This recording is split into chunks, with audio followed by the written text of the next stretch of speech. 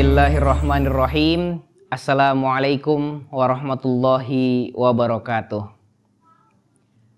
Alhamdulillah, alhamdulillahi rabbil alamin, wa bihi nasta'inu ala umuri dunya waddin.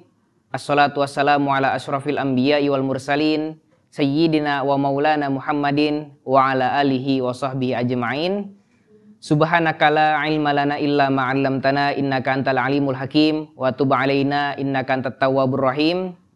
Rabbana surah lana sudurana wa yassir lana umurana wa hlul 'uqdatam min lisanina yafqahuna aqwalana. Qala Allah Ta'ala fi kitabihil karim wa huwa asdaqul qailin.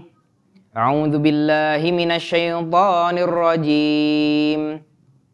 Ya ayyuhalladzina amanu kutiba 'alaikumus shiyam kama kutiba 'alal ladzina min qablikum la'allakum tattaqun. Shadaqallahu azim. Ma'asyiral muslimin, pemirsa beranda dakwah yang dirahmati Allah Subhanahu wa taala. Alhamdulillah Allah Subhanahu wa taala telah memberikan kita nikmat serta hidayahnya sehingga kita dapat berjumpa kembali dengan bulan suci Ramadan pada tahun ini. Alhamdulillah. Salawat beririkan salam semoga selalu tercurah kepada junjungan besar kita Nabi Yuna Muhammad Sallallahu Alaihi Wasallam yang mana telah mendidik kita membawa umat manusia dari zaman jahiliyah menuju zaman ukhuwah Islamiyah. Baik pemirsa beranda dakwah yang dirahmati Allah, pada kesempatan kali ini saya akan memberikan sedikit tausiah berkaitan dengan puasa dan juga kesehatan. Sebagaimana ayat suci Al-Quran yang telah saya sampaikan di awal tadi, yang artinya Allah Subhanahu wa Ta'ala e, mengajak kita untuk berpuasa, mewajibkan kepada kita untuk berpuasa sebagaimana telah diwajibkan kepada orang-orang sebelum kita, yang mana puasa itu akan menjadikan kita orang yang bertakwa. Takwa adalah menjauhi segala apa yang dilarang Allah Subhanahu wa taala dan juga menjalankan apa yang diperintahkan, termasuk berpuasa. Dan puasa ini Rasulullah Shallallahu Alaihi Wasallam pernah bersabda, sumu tasihu, berpuasalah kalian, maka kalian akan sehat. Jadi secara tidak langsung puasa ini menjadikan kita sehat, sehat secara ruhani dan juga sehat secara jasmani. Mengapa demikian? Sehat secara ruhani adalah kita dijadikan pribadi yang bisa menahan diri dari hawa nafsu, bisa menjadikan kita pribadi yang bisa mengontrol diri, menjadikan pribadi yang sabar, yang mana semua ini berkaitan dengan ruhani kita, berkaitan dengan hati kita. Tidak hanya secara ruhani, puasa juga mendidik kita menjadikan pribadi kita sehat secara jasmani. Sebagaimana banyak penelitian yang mengatakan bahwasannya puasa ini baik untuk tubuh. Yang pertama dengan berpuasa kita menahan diri dan kita menjadi lapar. Yang mana lapar itu membangkitkan sel-sel darah putih yang bisa menjauhkan kita dari virus-virus dan juga bakteri-bakteri. Kemudian dengan berpuasa juga kita akan diberikan kesehatan.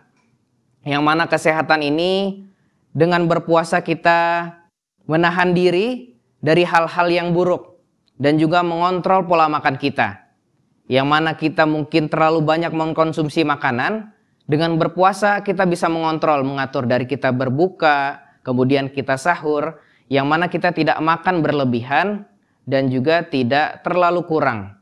Oleh karena itulah banyak penelitian mengatakan puasa ini menjadikan tubuh kita sehat.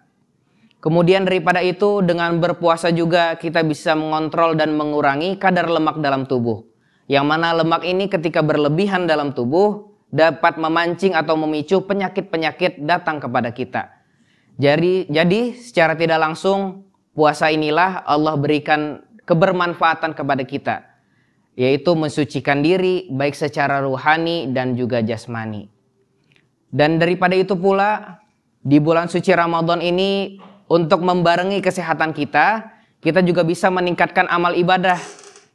Yang itu bisa dilipat gandakan pahalanya di bulan suci Ramadan. Karena Allah sendiri mengatakan bahwasannya bulan suci Ramadan ini dilipat gandakan pahalanya.